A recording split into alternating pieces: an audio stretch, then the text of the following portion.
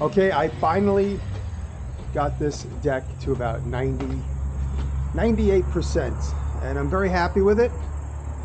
I've got it primed, got all the posts in place, brand new posts from Century Porch Posts, and the deck, you can see the deck's got a couple of coats of linseed oil on it. And in my previous video, I talked about this room that we were restoring. And here you can see, pretty good with the sheetrock. Just have a couple more coats with the spackle and then we start priming. And this has been about a year and four months worth of work. Part-time. It certainly shouldn't have taken that long, but when I did it primarily alone, that's what it takes. But in this video, you'll see me fully assembling the parts, painting, priming, some of this woodwork that needed a little bit of restoration, and of course the door. I put the new saddle on the door. We scraped, I did some remaking of this molding, and enjoy. Thanks for joining me.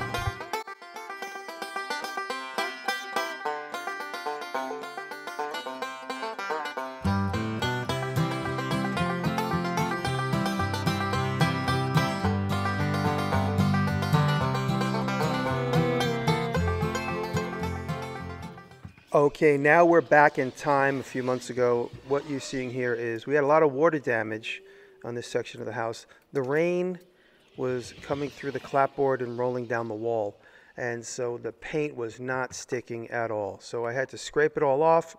I scraped it all as deeply as I possibly can. I sanded it, scraped it, sanded it, and now what I'm doing is I'm applying a primer coat.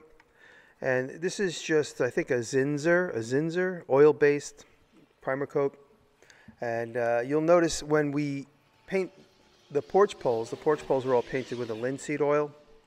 But I find it's difficult to use linseed oil on a flat wall because the linseed oil is just so runny. We, we bought white linseed oil paint, and the plan was to try and use linseed oil everywhere because of the, the advocates that do restoration recommend it. But this is under a covered porch. Hopefully the rain will not access this area anymore. And this paint is creamy, it fills cracks. The house is old, I have to face it. It's never going to be perfect, but the cracks and the crevices all eventually get filled with this creamy paint and then I go back in with some with some uh, DAP. And now this is the entrance to the house. It had this really elaborate molding which was missing a big piece of it. And I kept working at night, you'll see there's a piece of molding missing on one side. I scraped it and primed it and then scraped it and kept seeing where it needed. You see that one piece on the right side is missing. And I make the threshold, which is my next project. We ripped the old threshold up, and there's the old threshold, and this is a nice piece of oak that was one inch thick. I had to mill it down to about seven eighths so we mill it down, mill it down to the right thickness, and thankfully uh, the person who ripped the, the, threshold out did not throw it away because it is a perfect template. A lot of stuff happens when I'm on vacations, or rather on business trips. I come home and things are all ripped apart, and so it's it's up to me to figure out how to put it back together. And I use the old threshold as the template, and I'm going to take it over to the bandsaw and bandsaw out those silhouettes of the edge best I can.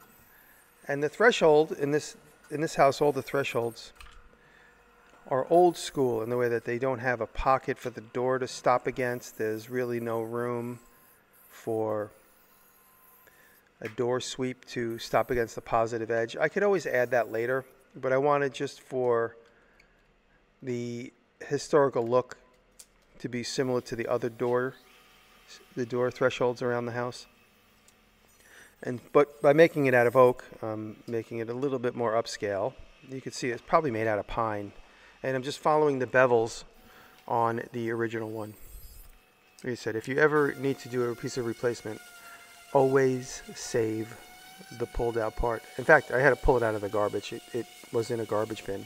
Thankfully, I found it because I could have scribed it in, but it's already there. There's no reason not to. And I'm just giving a little bit of palm sand. You see I had to add a little piece to it. And on my front porch, there was this big empty gap right there. That piece of oak fills in that gap underneath both sides of the crown molding. There was something there that was gone. Since I've owned this house, those gaps have been under that that door molding and so now you see I have it all fit so it will all come together nice and I use epoxy from Total Boat the Fixo Thixo and there's the piece of molding I made to replace the piece that was there. I used a router and the table saw to mimic the profile. And this is the thick Thixo which works really well. It's all weather thick Thixo and I put a little ledge up underneath that spacer right in front. That's in front of the threshold. I put a little ledge so it doesn't kiss the top of the deck, at least not at the visible edge. It's raised up a little bit, which just makes it look a little bit nicer in my opinion. And I'm just giving a little dab of the Thixo everywhere. I used the Total Boat varnish, spar varnish, to paint all those parts in preparation for putting it up. And you could see the damaged ceiling inside my foyer, which one of these days I'll get to fixing that as well. And it's an old house like this, one project leads directly to the next. We ripped all the interior walls out of that one office that I showed in the beginning of the video, and it the slats broke through the wall in the other in the other room. I had to repair the other room. But here, finally, the day we've been waiting for, the Century Porch Post show up from Century Porch Post just over the border in Canada covering up my address. And the Century Porch Posts were made to order. They were fairly expensive, but they're going to be there for 100 years. It's, it's not a.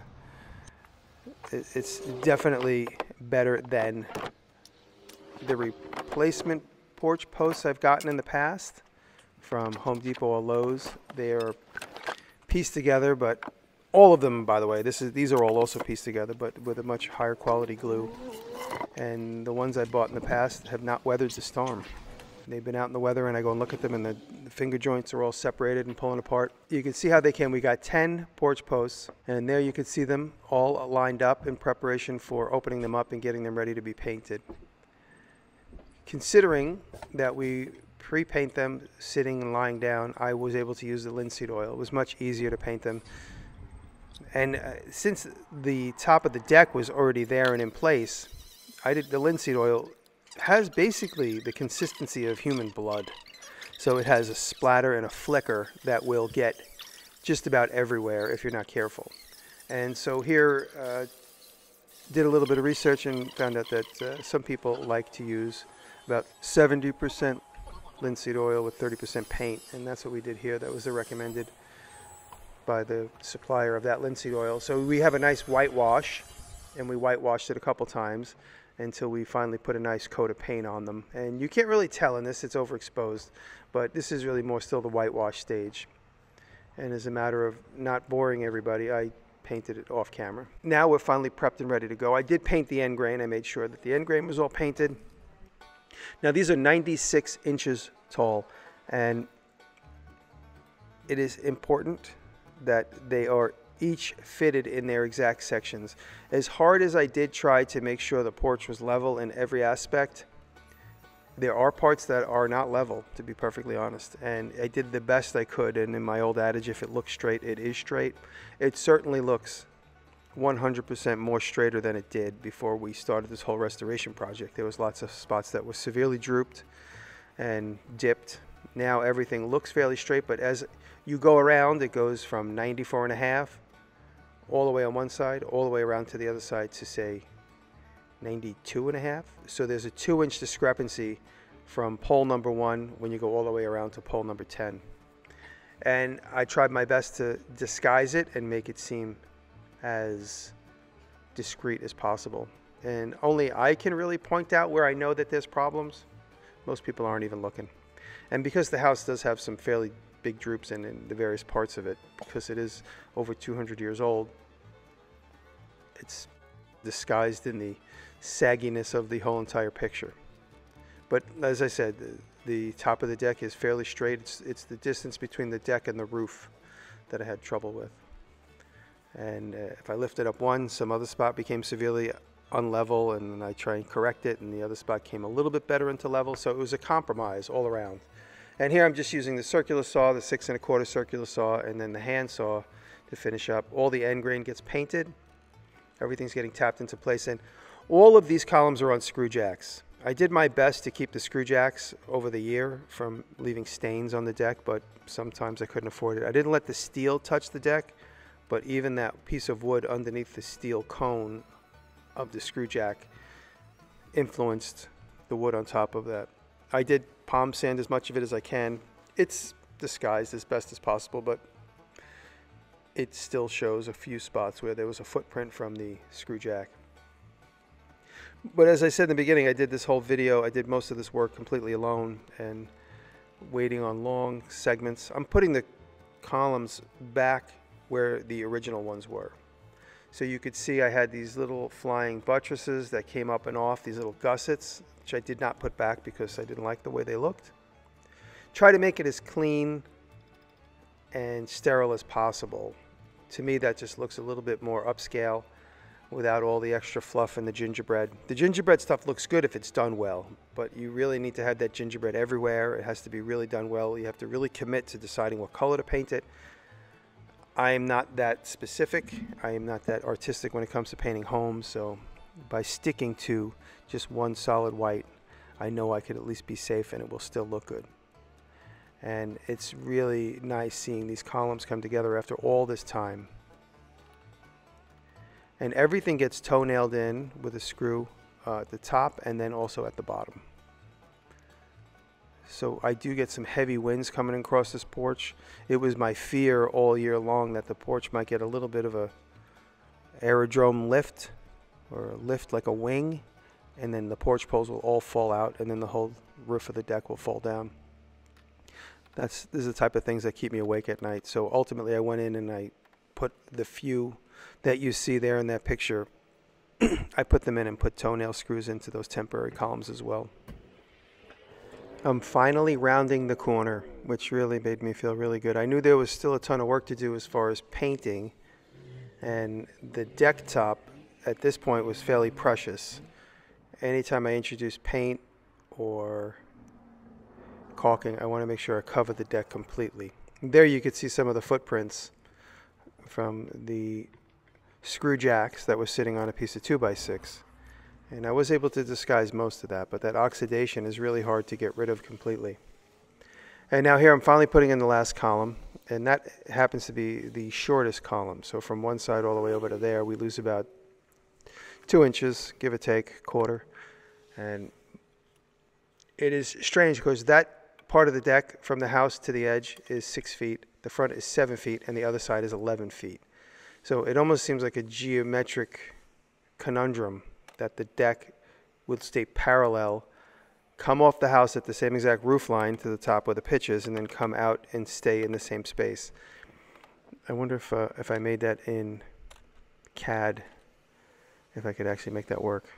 I mean, I'm sure it worked. It's it just seems weird to me that it, that it actually does work. And here we are just doing the final walkthrough. Again, I do paint the deck several times since this particular shot. And actually, uh, and this is the back where it's 11 feet deep. Yeah, I'm really just relishing in the fact that I got this done. Now the hard work comes. All that stuff was fairly easy. The hard part now is scraping all the paint, finding whatever little restoration woodwork needs to be done. Not too much. I had a lot of situation here with this door jamb. Either side of the door jamb was really beat up from just years of screwing locks into it and whoever else did it. So I gave it a quarter inch layer of poplar on both sides and it also came down and gave me a nice clean look at the the the door saddle. I was able to cover the top edge of the door saddle. Now looking around you can see where I need to scrape and sand in some of that stuff and there's a lot of water damage just to the paint alone though not necessarily to the wood here Joey comes down and he realizes he thinks there's some termites up there nothing's rotted right he's pointing he's saying I think we have termite damage but that is right where the wood you can see up underneath where the the clapboard is damaged the up underneath ceiling and it's all just water damage and there's a little bit of rot right there I just treated it and it's it's hopefully the water is gonna be subsided from the amount of abuse it took. And I'll get another couple seasons out of it before I need to change that whole fascia board right there. The up underside, the beadboard, should be completely replaced, but that is another year and a half project if you ask me. So I'm going to do the best I can to paint it and put some DAP to close up some of the gaps and then see if I can get a couple of more seasons out of it. But it would be best if I ripped out the whole entire clapboard up underneath and redid it. I want to do it to the back deck, so maybe I'll do it all at the same time, order at the same time, and make it match. And now I'm putting fascia boards on the deck itself. If you watch video one, you'll see how much nuts and bolts and screws all went into, because that rim edge that I made is all overlapped 2 by 8s all the way around. And I overlapped them and bolted them together. And I felt that would be the strongest. And here you see the piece cut to fit over the stonework. We have a guy named Ken who does beautiful stonework here. He's done all the stonework. It's just taking so much time. We haven't had a chance to do any of the landscaping that goes inside the stonework. So I have a beautiful bed of garden weeds inside both of the stone beds. Just everything just takes forever, especially when you're a one-man operation and you're getting very little help from the crew. And just looking back, I'm really proud of it. Now we have to paint up underneath. And I said that's the hard part. Painting for me is no fun. You just have to, like scuba diving, just you're going to get completely underwater with the paint. It's going to be in your hair. It's going to be in your nostrils. For me, I've seen painters at the deli getting sandwiches, and they're also covered with paint. So I know it's just the way it is. But now I must cover the deck with plastic. So from Uline, I buy a 400 pound roll of plastic and I cover the whole entire deck. And this was a half a day job in and of itself, laying out this plastic and making sure that it's taped down, isn't going to blow away on a breezy day. I said, more power to the contractors that are diligent and pay attention to everything they do and make sure that paint doesn't get on the deck top and so on and so on. And so I'm giving myself a little pat on the back there, but you see how much plastic I had to use, and that is absolutely necessary because when I'm painting up underneath here like you're seeing, some of these stains need five coats. You do it, you go back, you do it, you go back. So this is over the course of about three days, painting and covering and painting and covering. And I'm using that creamy, I'm pretty sure you could see the bucket sitting there. It's a Home Depot two gallon bucket. I guess it was a Zinsser maybe, or one, two, three, I forget what it was called. But now here, just moving the ladder over 10 inches at a time and reaching in 10 inches at a time. I tried for one second a spray gun and it was not enough. It was way too messy and the water, it had to be watered down too much to actually do any work. So you could see this has been years of non-paint. As a matter of fact, I last painted the house in 2006. So here it is, however many years ago that was. 2010, somewhere around there. So it's it's been at least 12 years that the house got painted. It's still in really good shape. It's just this porch took such a beating because of the weather and the edge and so on and so on. But you see what it just there's nothing to it but just to do the work. Uh, unfortunately, there's no easy way. Like a few friends stopped by and said, "Why don't you spray it?" I said, "Because it's going to get everywhere, and I'm going to have to spray it 50 times, and every time you spray it, it has to get more overspray." I had to cover all the stonework, but now you see it's starting to pull together. Visually, there's not blemishes, there's not missing paint in various spots. And again, that creamy paint started filling in a lot of the cracks in the upper ceiling. I'm just uh, really proud of the fact that this took so long and it's just about done. There's still some splits up in that upper board work that the only way to fix it is to pull it out and put it back in. And you could see, uh, unfortunately, from the beginning of the video number one, we had to get rid of two huge trees that were just to the to the left of the porch. I was afraid they were going to fall. Again, just doing some more survey. That's my good luck charm. That's my uh, fertility statue. I don't have any kids, so it doesn't work that well.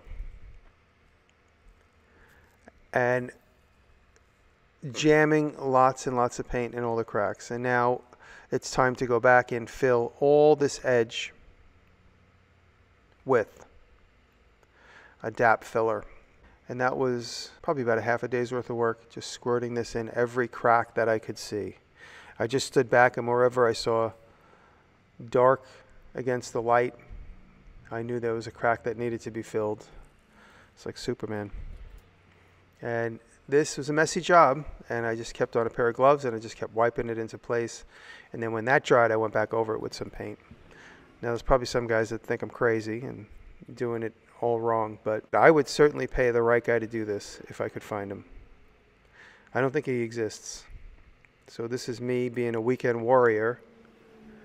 I make a lot of things, but construction work is not something I've ever really enjoyed doing, and it's not something I ever really had enough practice at to do it accurately in the way some of you are watching this and saying, you know, this is going to happen because you did that wrong, or that's going to happen because you did that wrong. I feel like I've mitigated the harm that this house was was experiencing because of this bad deck. And it's like trimming your beard. If you trim your beard, everything else starts to look good. And by fixing up the deck and reducing the harm it was experiencing due to weather and age, and just replacing completely what needed to be replaced, I feel like I've I've given this house a tremendous facelift, and I'm really proud of that. And like I said, if I had to do it again, I would certainly find the right person to pay. so, if he's out there, make yourself known. But I'm thinking because I did this next summer, I'm going to do the back deck. I have your traditional barbecue deck style one by six boards that are rounded on each edge that have air gaps between them because they shrink and expand. Next summer, I'm going to rip up my whole back deck and do a surface just like this one. If you're still here, I want to say thank you very much for watching. I appreciate you guys watching the channel and being part of my journey. Thank you very much.